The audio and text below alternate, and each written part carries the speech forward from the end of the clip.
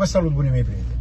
Fac acest filmuleț pentru a vă vorbi despre problema gazelor. Însă până să trec în subiect să vă vorbesc despre problema gazelor, o să vă invit să mergeți duminică la alegerile parlamentare din România. Acum este mult mai important decât alalta ieri, pentru că ieri planta asta parazită pe nume Iohannes a încercat o lovitură de, sca, de, de stat, ascunsă, camuflată bine, dar ea așa trebuie calificată, pentru că ceea ce a făcut Uh, Iohannis ieri împreună cu Ciolacu, deci a, înseamnă să pună pe foc această țară. Acum nimeni nu mai înțelege ce o să fie cu alegerile prezidențiale. O să mai fie turul 2 sau revin la turul 1, pentru că ceea ce a decis Curtea Constituțională din România este o nebunie curată. Acolo trebuie să se renumere toate voturile în condiții mult mai puțin transparente decât s-au numărat în ziua votării și tot așa. Deci sunt o șir de elemente care n-are rost să le vorbim acum, pentru că eu o să revin la subiectul ăsta.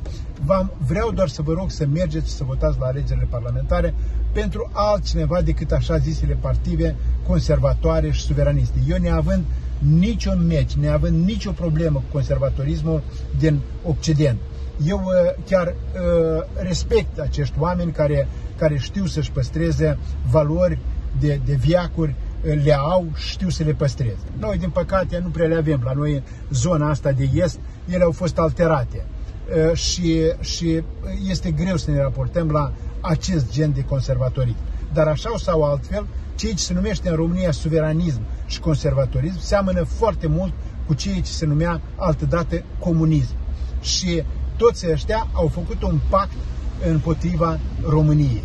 România care n-a fost niciodată cu atâta suveranitate care o are acum, care n-a avut niciodată o situație mai bună în istorie decât o are acum alături de aliații ei occidentali.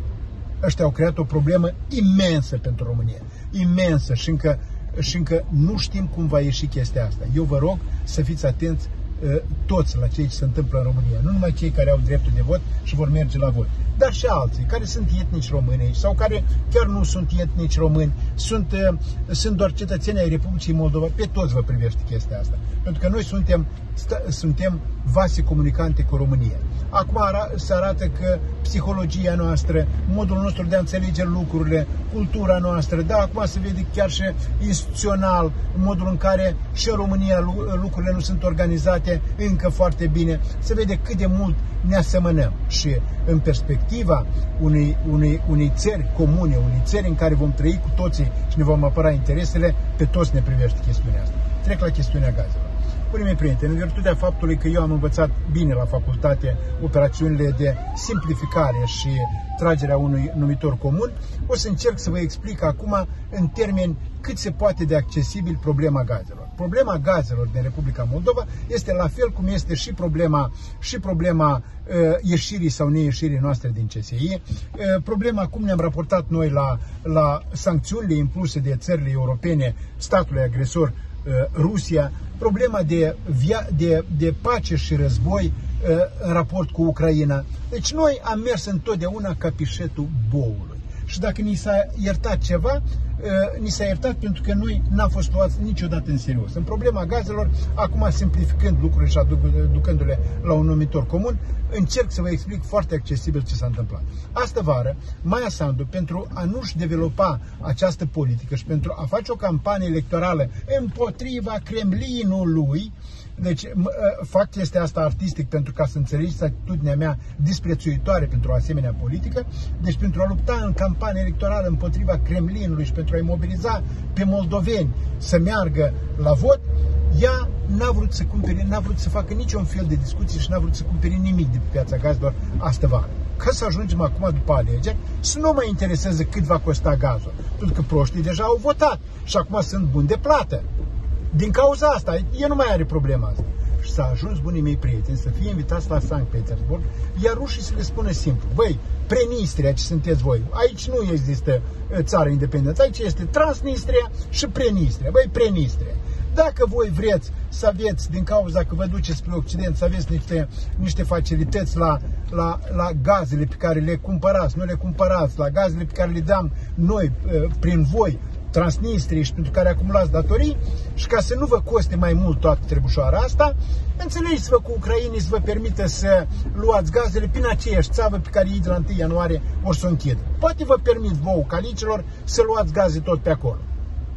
Și vă închipuiți ipocrizie și mizerie din capitele astora. Ei au avut îndrăzneală să se adreseze ucrainenilor. Ucrainenilor care astăzi mor sub bombardamente rusești ucrainenilor să se adreseze și să spună poate ne dați voie să luăm gaz tot pe acolo, iată să ne hrănim separatiștii noștri, să-i întreținem, că, că noi așa, noi suntem moldoveni și noi, noi hai, poate la mica înțelegere ne dați gaze. Să le spui ucrainenilor care mor, care mor astăzi sub bombardamente rusești. Vă închipui stupeu. Eu cred că ei ne mai suportă din cauza că sunt foarte necăjiți și au de rezolvat mai multe probleme. Dar toate chestiunile astea o să vină în capitele noastre, o să vină în capitele noastre după război. Atunci când, când vor avea și libertatea și posibilitatea să ne spună exact ce am fost noi în raport cu ei. Pe mine asta mă întristează foarte mult. Deci ei asta au făcut. Ei asta au făcut în raport cu ucrainenii. Deci ei s-au adresat ucrainenilor să ne permită să ne dea gaze prin, prin țeava aia. Uh deci, asta am vrut să vă spun în problema gazelor, dar în legătură cu asta o să mai spun ceva. Legat de niște concetățeni de ai noștri care tot au încercat după alegerile uh, prezidențiale, când eu nu le-am reproșat, eu le-am spus ce cred eu despre modul în care a votat diaspora. Eu n-am niciun meci cu diaspora noastră, absolut niciun meci.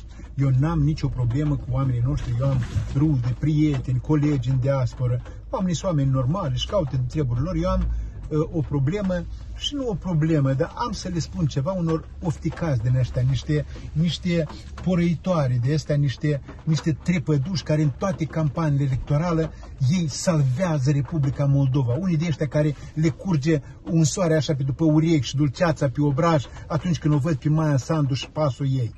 Deci cu unul de ăsta am avut o discuție de la Chicago, de undeva care dădea ochii peste cap și îl vedeam, mi-l închipuiam cum tocmai tremura și îmi spunea că el și-a botezat copii într-o biserică pe care eu am numit-o Zapegalov, că, că, că, că el acolo are lucruri sfinte și ei, eu nu mă referisem la biserica lor, în general vorbisem despre altceva, că eu trebuie să-mi cer scuze de la ei și așa mai departe. Păi eu am o, eu am o, am o întrebare către ăștia, una retorică, la care nu aștept răspuns. Dar dacă, dar dacă s-ar face un referendum, voi eroi ăștia din diaspora care votați așa și cum îi învățați voi pe toți să voteze într-un fel sau dacă s-ar face cumva în sensul ăsta o, o, o, o, un referendum în care să fiți întrebați, nu numai dumneavoastră, dar toți, băi, dar voi ați fi de acord, cei din diaspora, după ce faceți actele astea de eroism, să le compensați ăstora de acasă prețurile pe care trebuie să le plătească ei la gaze și pentru votul vostru și pentru votul vostru care, care ați vrut-o pe Maia Sandu. Eu nu zic că, că eu n-am nicio problemă cu oamenii simpli care au votat, din diaspora sau de aici, pentru că dacă ajungea Stoianoglu a lor, se întâmpla același lucru. Nu despre asta e problema. Dar acum noi cel puțin eram în stradă. Noi nici asta acum nu ne putem permite, din cauza că Maia voastră Sandu e percepută ca pro-europeană. Aici e toată problema. Noi acum eram în stradă, că Stoianoglu făcea același lucru. Și lucrurile erau clare. Republica Moldova este în aceeași tabără cu oportuniștii europeni, gen Ungaria, Austria și Cehia. Iar pe de altă parte se unge pe lângă toți că noi am fi și cu ucrainenii în stabilirea unei păci. Unii mei prieteni, mergeți duminică la vot. Haideți să mergem să votăm duminică, că de asta depinde mai mult decât problema gazelor sau cum și la cine se țânește mai Sandu. Acum uh, avem grija să menținem stabilă România. Ca clica asta uh, de, uh, a lui Iohannes, Ciolacu și, și Ciucă să nu facă acestei țări mai multe probleme decât au făcut până acum. Mergem duminică la vot, votăm cu unul dintre partidele altele decât partidele naționaliste, suveraniste și conservatoare, așa cum spun ei. Iar mai departe așteptăm alegerile Uh, prezidențiale ca să nu permitem unui smintit să ajungă președinte a României. Eu vă doresc uh, uh, o zi bună și vă aștept marți în podcastul cu Daniela Bodruc, miercuri în emisiunea mea, la emisiunea lui Daniela Bodruc de azi vineri și de vinerea viitoare. O zi bună în continuare!